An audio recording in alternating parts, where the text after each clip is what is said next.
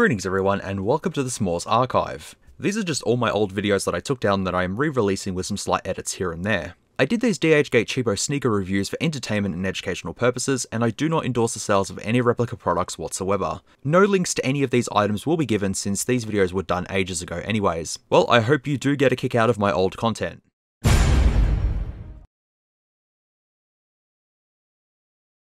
Now hopefully this is going to be the first part in a two-part series that I have planned out for these shoes, which are obviously in the title. In a two-part series, in a two-part series, in a two-part series, in a two-part series.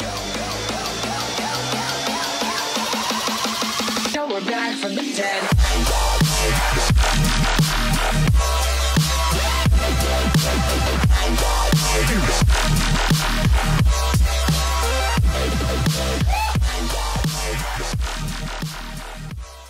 Hello there and welcome back to another video. You uh, contacted me and asked me if I would like to review a pair of shoes for them. I said no problems. They asked me which shoes I wanted and so many of you have asked to see the Sean Wotherspoon shoes so I'm going to finally show you a pair of them. These should hopefully be perfect one-to-one -one replicas. And what's this you say? There's no garbage bag. Why is there no garbage bag? It's quality assurance, that's what it is. Yes, this is a double box this time, which is um surprising. Usually it's a garbage bag and then the box, but sometimes it's a box and a box and it's just a box. Took three days to get here from China to Australia, which is fantastic once again. Let's get into this box and see what we have. Hopefully, I know what it is. Even though this is a partnered video, all opinions are going to be my own, as I said in the last videos as well.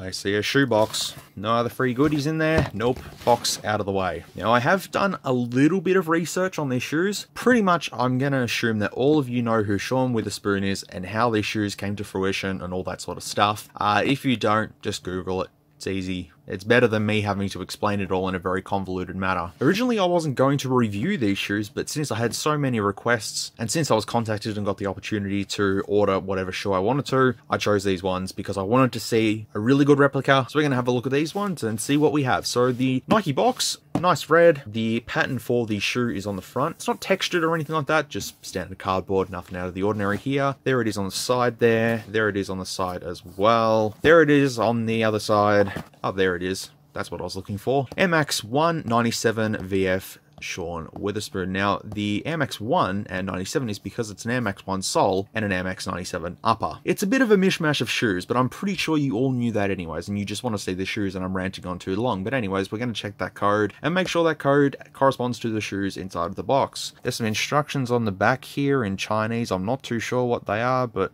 it's information on what's in here. There's a sticker that has Nike Air on it and the sole and all the other trademarks and all that stuff that we're used to. So that's the box. Let's open it. Ta-da!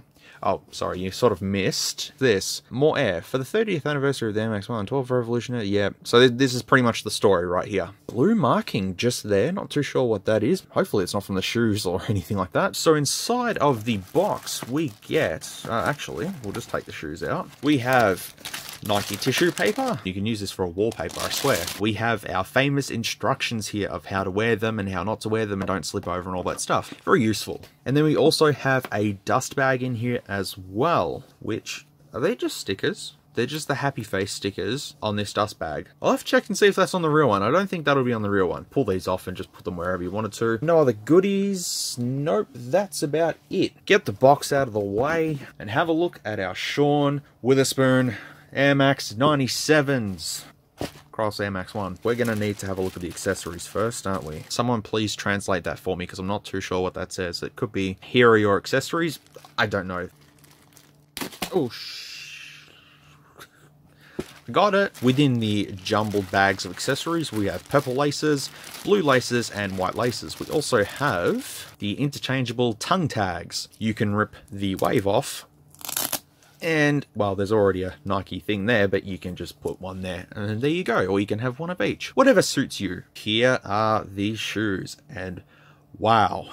there are too many colors. When I first seen these shoes and people were requesting to see these shoes, I initially said no, because I said to myself that I'm never going to wear these. But the more I look at them, the more I go, you know what, I'll actually probably wear these, because they're actually a really cool color scheme. Let's have a look at them and see what we can find out about these shoes. Once again, referring to stock photos online to compare these, I do see some slight differences. The sole appears to be completely correct. That is the Air Max 1 sole, and that all looks correct. The red in there for the platforms is all correct. Then we get to the uppers. Now, we have a multi-layered design here of corduroy. You can see how the pink here sort of dips down into this very slimline pattern and then just emerges as a thicker sort of line.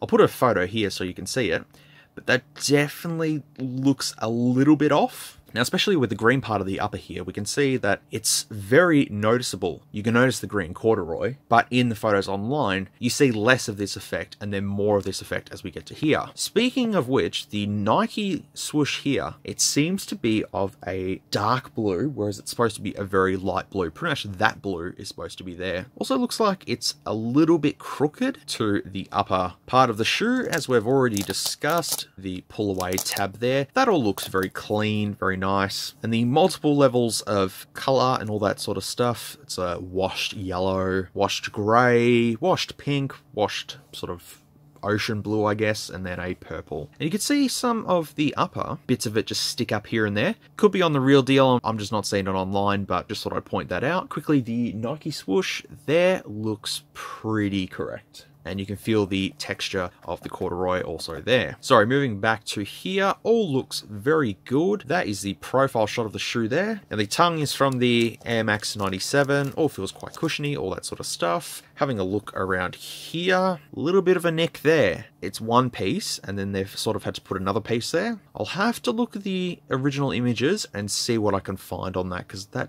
doesn't look consistent. That's something on the upper that I noticed straight away is all of that. Onto the back of the shoe here. Oh, we can see the different texture. Sort of, sort of, it goes like that and then it goes like that. So it's different sort of waves on each side. Okay, this is a very unique shoe. Anyways, on this denim sort of tongue here, we can see the graffiti Sean Wotherspoon actually says VA cross LA.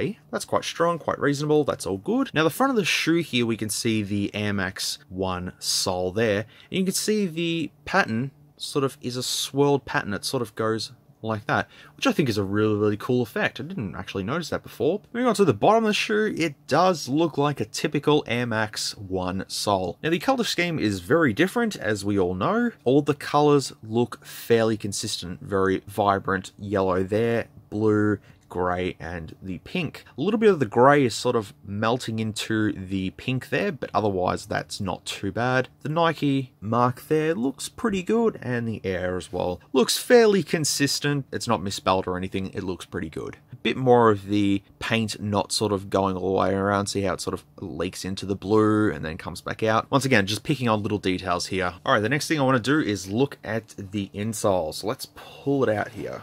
Oh, there's tissue paper in here. Sorry, my bad. And here is the insole. This is Sean's little happy face thingamajiggy with the Nike swoosh for his mouth. Looks pretty cool. The material for this feels very reminiscent of velvet. It feels really nice. From being bent, it sort of has markings here, but it's not too bad. On the bottom, we can actually see it says Ortholite, which make soles for Nike shoes, I believe, to provide extra comfort, and there's definitely some extra cushioning within this sole, so I assume that's going to be all good. And you can see the stitching, it's just sort of a bit random, but hey, it's going to hold. Inside of the shoe, we see the normal cross stitching patterns, pretty consistent, nothing out of the ordinary, all looks pretty good in there. Now this material goes straight down to the Air Max sole, so that's pretty much all the cushioning there is the Air Max sole from that point on. On the tongue, what does it say? It says AJ4219400, which is the correct one that was on the box. I will have to make sure that that is the official code for these shoes. I'll put something here in editing. They are size 11, so they should fit me absolutely perfect. Doesn't say Nike Better World. Usually they sometimes say Nike Better World, sometimes they don't. Moving on to the other shoe now. Let's see if there's any other changes. This upper here, these lines here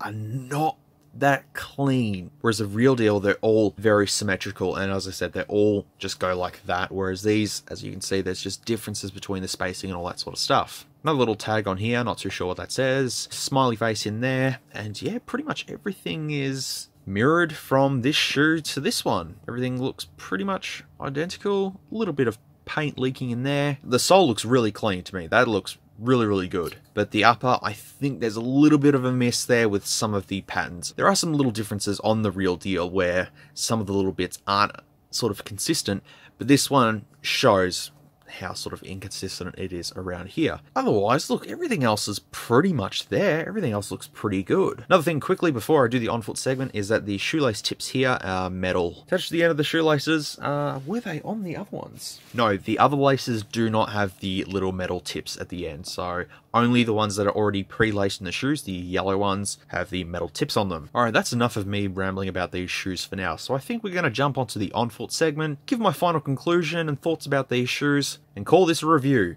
So I'll be back in a minute. So here are the kicks on foot.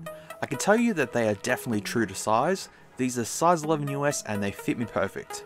With that Air Max 1 sole and the velvet-like insole, it all combines itself for an incredibly comfortable shoe, and then topping it off with the Air Max 97 cushioning gives it an all-out excellent shoe to wear. As I mentioned earlier in the video, you would get away with these maybe it's if you get up close you will see some of the details which to me are definitely different from the real deal. These may not be perfect replicas, however, I feel that they would hold up well over time. These shoes by Sean Wotherspoon are a very unique shoe, something that I'm still questioning as to if I like or not.